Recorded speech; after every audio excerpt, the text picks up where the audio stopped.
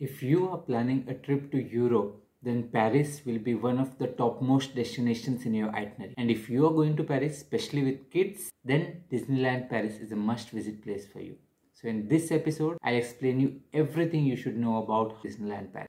Hey guys, I'm Nishant and I welcome you to Veg Stroller. We are covering our Europe series and this is episode number 11.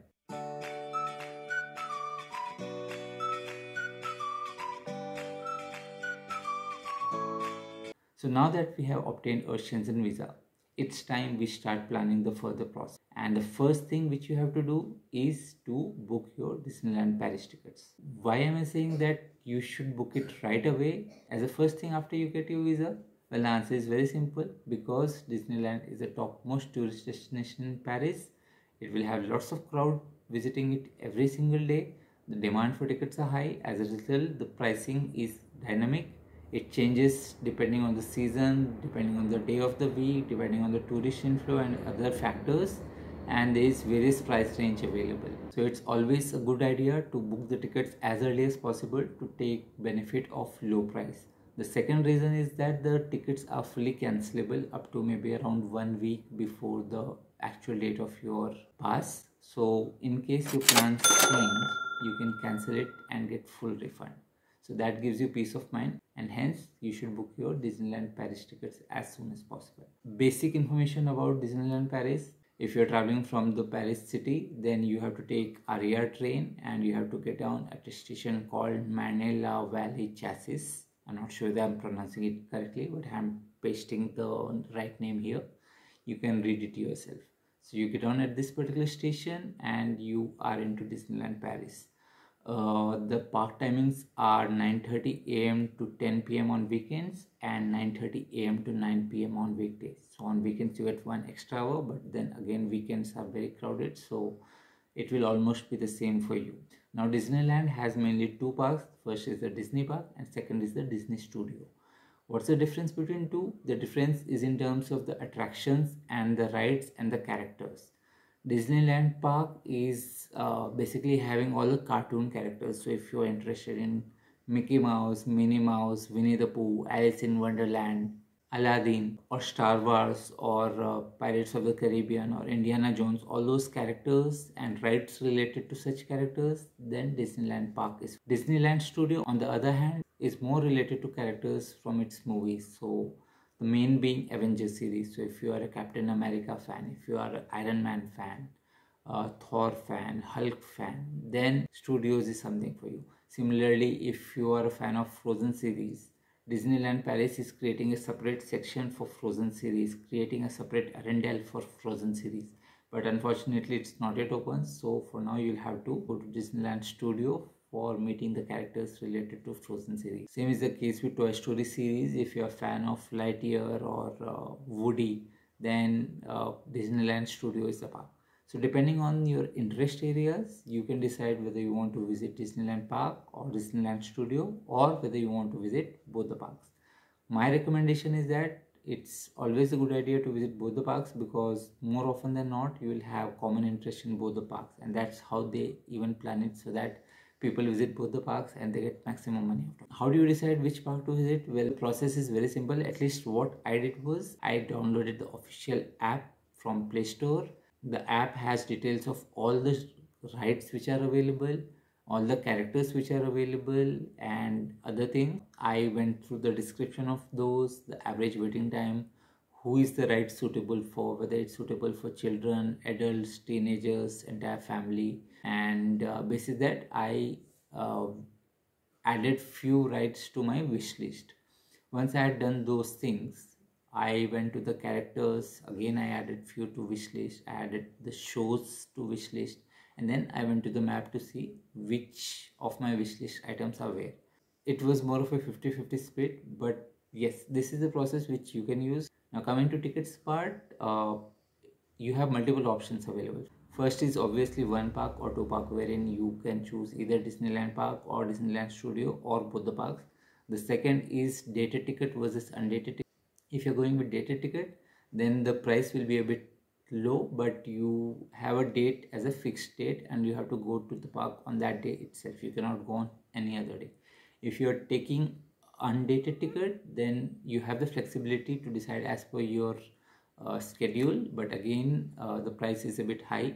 And uh, i think uh, before 24 hours or before few days of your actual visit you have to register it on the disney website. Uh, the third option uh, which you'll have to decide is whether you want to take one day pass two day pass three day pass or four day pass so again depending on the number of days pass the price varies. Uh, one day pass will be a bit costly. Two day pass will have per day cost as a bit low. Uh, three day pass will obviously have lesser per day cost and so on and so forth. Then you also have another option where you will book the hotel plus park tickets as a combo. So in this particular case disney hotels which are in the park area itself you can book the stay there and it will automatically also give you the park tickets. The benefit of this is that uh, you get extra one hour for visiting the attractions. The park opens one hour earlier for the hotel guests so they can visit all the attractions and they can uh, go to the rides and uh, do the rides before the park opens for general tourists and before the rush starts coming in. The disadvantage is that uh, these are slightly costly. So if you are someone who is price conscious then you might uh, prefer staying outside the disney park area. Now coming to how should you book the tickets? Well uh, there are three options to book the ticket. The first option is booking at the counter which is the worst possible option because first of all it will be at the maximum price which means you'll not get discounts. And secondly you are not sure whether you will get the tickets or not because sometimes it might be sold out due to heavy rush.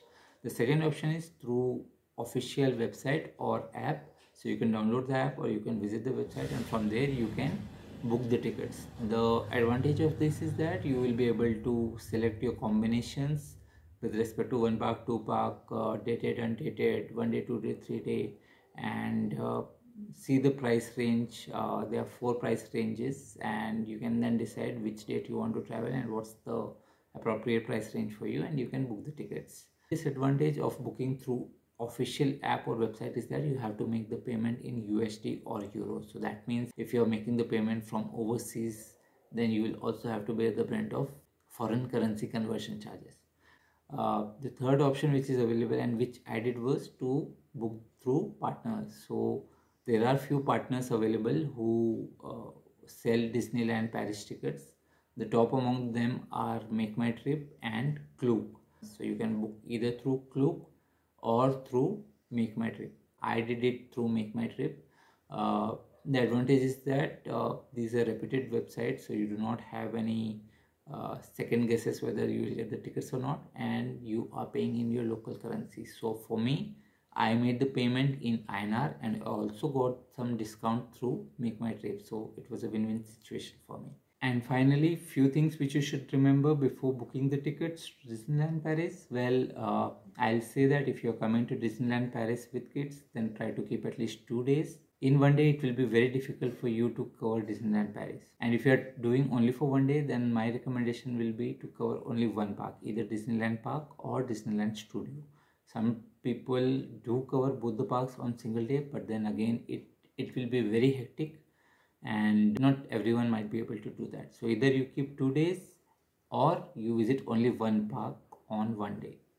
Uh, the second tip which i like to give you is that uh, do keep in mind uh, that there will be lots of rush lots of crowd and there will be lots of waiting time for popular rides. So in fact i was checking the app and there are rides wherein the waiting time can be between 30 minutes to 1 hour also so what that means is you will wait in the line for 1 hour then you will go to the right and you will spend maybe another 10 15 minutes. You will come out of the right and then you will go walk to the next ride that means one and a half to two hours between each ride is what you're looking at. And that means you will not be able to do more than 7-8 rides in the entire day and, and hence as I said earlier one day might not be sufficient you might need at least two days. The third tip which I'll say is that try to have an accommodation nearby to Disneyland Paris. I'll not say that you should go for the combo package and buy park plus hotels inside which are costly but what I'll suggest is buy nearby you have Chessy area, you have Montevrain area, you have few other areas uh, where you will be able to find stay through Airbnb or Booking.com at a much more cheaper price. And uh, from there the park might be walkable or there might be bus which might take 5 10 minutes uh, to drop you at Disneyland Paris. So try to prefer that because staying nearby will always be comfortable for you. Uh, you can reach early and at the same time in the night after 10 pm you can reach back home early and take some rest. And the last tip which i'll give you is that uh, there are lots of add-ons which are available uh, for you to choose from. So think wisely and then decide. Priority pass might be a good add-on if you want to make the maximum utilization of your time if you're visiting only for one day and if you're shortlisting the rides which are high in demand so what i'll suggest is you go to the app you try to identify the waiting times and see which rides you want to do. And basis that if you feel that the rides are mainly those which have high waiting time you can buy the priority access in which you can skip the queue. Similarly you can pre-book the restaurant. Uh, just note that inside everything will be at a very costly thing but you do not have any other option because you cannot come out and have anything outside. So you'll have to have your meals inside and you it's better you pre-book. But again the disadvantage is that you will get limited slot for the table booking and if you're not there it might go. So think about it and then book. That's it guys. I think i have covered almost all the topics which i know uh, or at least what i researched about before doing my disneyland paris booking I hope you found them useful. If yes, please remember to like, subscribe and share the content with your friends. YouTube algorithm works only if you share it with others. Only then will it promote my video and that will help. As usual, if you have any content related to Disneyland Paris or any of our previous videos so far, you can feel free to ask them in the comment section. I'll try my best to answer them. Until next time, this is Nishant signing off. Bye. Take care.